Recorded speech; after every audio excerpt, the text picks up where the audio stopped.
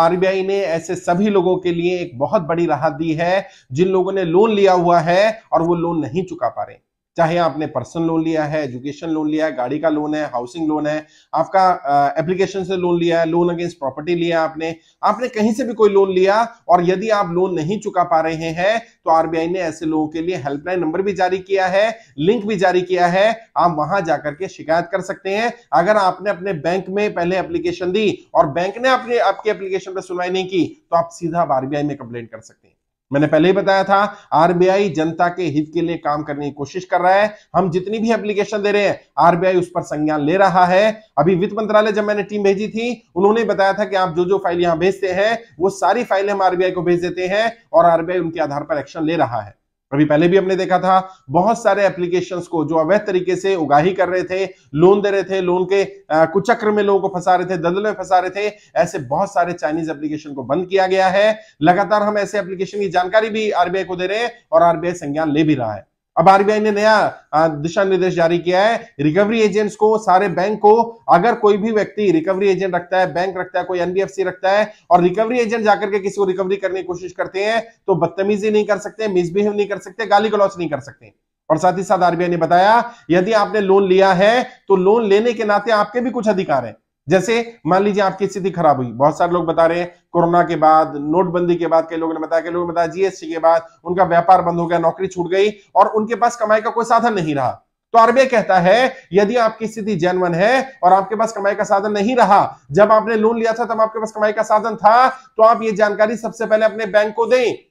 Bank को बताएँ। और मैं भी बार बार बोलता हूँ, बैंक के साथ कम्युनिकेशन चालू रखें और बैंक के साथ जितना भी कम्युनिकेशन करें, सब रिटर्न में करें, कोई भी ओरल कम्युनिकेशन ना किया जाए। क्योंकि जब आप ओरल कम्युनिकेशन करते हैं, कल को आपके पास कोई प्रूफ नहीं होता है कि आपने बैंक से क्या बात की और बैंक ने क्या जवाब दिया। जब भी आपकी स्थिति खराब है, आपको लग रहा है आप ई नहीं पे कर पा रहे पहली बात तो कोशिश करें बाउंस ना होने दें। मैंने बार बार कहा है, अगर तीन लगातार ईएमआई बाउंस हो जाएँगी तो आपका केस एनपीए में हो जाता है। तो बेहतर ये रहेगा तीन लगातार बाउंस ना होने दें। फिर भी अगर आपको लग रहा है, आने वाले समय में आपकी स्थिति खराब हो सकती है, आप उतनी ई नहीं पे कर पाएँगे बैंक से जाकर के बात करिए रिटर्न में बात करिए लेटर दीजिए कि मेरी अभी स्थिति ऐसी है, मैं ई भर पा रहा हूँ, या नहीं भर पाऊँगा, या आगे मेरी स्थिति खराब हो सकती है, या वर्तमान में नहीं भर पा रहा हूँ, मेरा लोन को रीसेटल किया जाए। बहुत सारे लोगों ने किया रीसेटलमेंट उसमें क्या हुआ? उनको ईएमआई को कम कर दिया गया, उनके हिसाब से बना दिया गया।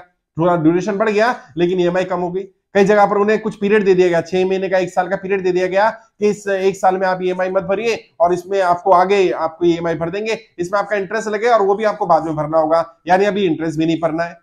तो अगर आपको लग रहा है आपकी स्थिति छह महीने, साल भर में ठीक हो जाएगी तो इस तरह का समय ले सकते हैं। लोन को रीसेटलमेंट करा सकते हैं रीएडजस्टमेंट करा सकते हैं, जिसमें आपकी डेट आगे पीछे हो जाती है। कई बार कई लोगों ने बताया कि मेरी ईएमआई जिस डेट को आती है और अमाउंट मेरा उससे चार दिन बाद आता है तो हर बार मुझे पेनल्टी लग रही है। तो ऐसे लोग क्या कर सकते हैं? बैंक पे जाकर के एप्लीकेशन दे सकते हैं कि मेरी ई की डेट को एक, एक हफ़्ता आगे बढ़ाया जाए। तो उससे क्या होगा? आपको जो पेनल्टी लग रही है बंद हो जाएगी। लेकिन जो भी कम्युनिकेशन करना है बैंक से एक तो मैंने कहा ओरल कम्युनिकेशन नहीं करना है रिटर्न में करना है और यदि बैंक एप्लीकेशन नहीं लेता है आपकी रिक्वेस्ट को एंटरटेन नहीं करता है तो कम से कम मेल के थ्रू कम्युनिकेट करिए। वो जवाब देना दे। आपने मेल कर दिया अब कम से कम आपके पास कोई प्रूफ होगा। कल अगर बैंक आपको डिफॉल्टर करता है आपके खिलाफ केस करता है या कोर्ट जाता है तो आपके पास सबूत होगा।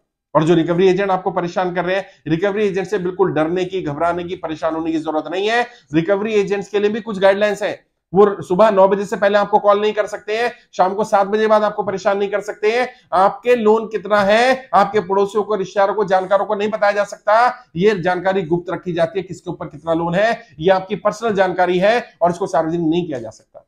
आपके गारंटर को, आपके पड़ोसियों को, आपके रिश्तेदारों को हरेस नहीं किया जा सकता, कोई फ़ोन कॉल नहीं कर सकता, बदतमीजी नहीं कर सकता, उनके साथ मिसबिहेव नहीं कर सकता, आपके आपके परिवार के साथ मिसबिहेव नहीं कर सकता। यहाँ तक कि कई लोगों ने बताया लोन हस्बैंड के नाम है और घर आकर के वाइफ को बच्चों को परेशान किया जा रहा है, जबकि हस्बैंड वहाँ अवेलेबल नहीं है, अधिकार नहीं है ये।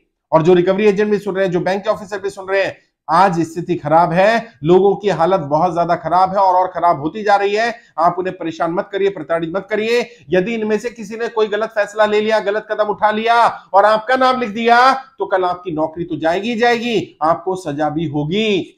बहुत सारी जगह हमने देखा है, रिकवरी एजेंट को सजा मिली है। रिकवरी एजेंट जेल में है, उनकी पूरी कंपनी बंद हो गई है और उनके कंपनियों के मालिक भी जेल में है। ऐसा कोई गलत कदम मत उठाइए, किसी को परेशान मत करिए। और मैं आपको भी बताना चाहता हूँ, आपने लोन लिया, कर्जा लिया, समय पर नहीं चुका पा रहे, इसमें आपकी गलती नहीं है, इसके लिए सरकार की गलत नीतियाँ जिम्मेदार है और आपको ये बात खुलकर बोलनी पड़ेगी। रिटर्न में दीजिए, जो भी आपके साथ हुआ, दो, तीन, चार, पाँच पेज में पूरा लिखिए, बैंक को भी इंफॉर्मेशन दीजिए और आरबीआई में भी कंप्लेंट करिए। आरबीआई का लिंक मैं बता देता हूँ आरबीआई का लिंक है W W W dot C M S dot RBI dot O R G dot I N मैं फिर से बोल रहा हूँ W W W dot C M S dot RBI dot O R G dot I N इस link पर जाइए, इस लिंक पर कंप्लेंट करिए, तीस दिन के अंदर अंदर अगर आपकी कोई कंप्लेंट है तो आरबीआई उस पर जवाब देगा, संज्ञान लेगा। और वहाँ पर अपनी सारी जानकारी बताइए।